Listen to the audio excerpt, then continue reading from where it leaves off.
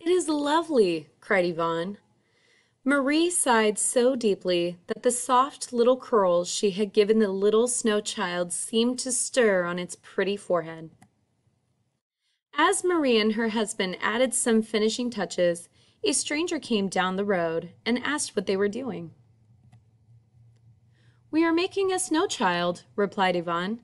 He stepped back once more to admire the little figure. As he did so he saw with intense surprise a gentle quiver of its eyelids. A soft pink color stole into its cheeks and lips. A deep sigh came out, and the dimpled fingers he had molded so lovingly uncurled and stretched themselves. There stood before him a living child! The child was lovelier than any that he or his wife had seen in their fairest dreams. "Who are you?" asked a startled Ivan, when he could speak.